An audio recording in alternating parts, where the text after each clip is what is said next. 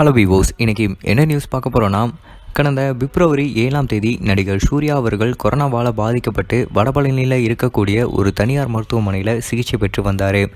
தான் கொரோனாவால் பாதிக்கப்பட்டிருக்கேன் அப்படின்னு சொல்லி அவரே அஃபிஷியலாக தன்னோட ட்விட்டர் பேஜில் பதிவிட்டிருந்தார்.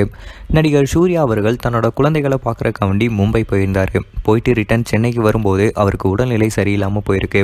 அப்போது சூர்யாவுக்கு கொரோனா பரிசோதனை எடுக்கும்போது அவருக்கு கொரோனா தொற்று இருந்ததாக உறுதியாயிருக்கு. உடனே வடபழனியில் இருக்கக்கூடிய தனியார் மருத்துவமனையில் சேர்த்து அவருக்கு கொரோனா சிகிச்சைகள் கொடுத்துட்டு வந்தாங்க.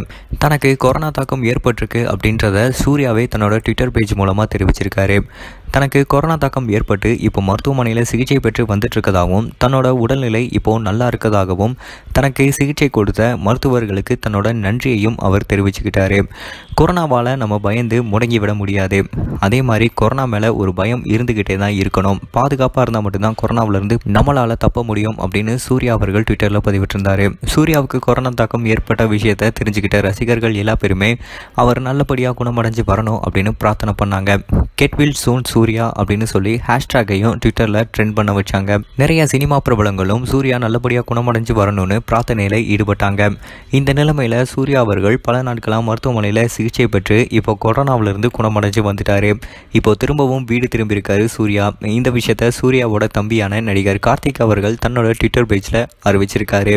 Anna is back home and all safe will be in home quarantine for few days cannot thank for the என for prayers and best wishes அதாவது சூர்யாவுக்காக பிரார்த்தனை பண்ணிக்கிட்ட எல்லா பேருக்குமே என்னோட நன்றியை தெரிவிச்சுக்கிறேன்னு சொல்லியிருக்காரு. மேலும் அவர் தெரிவித்தது என்னன்னா இப்போது அண்ணா வீடு திரும்பிட்டார்.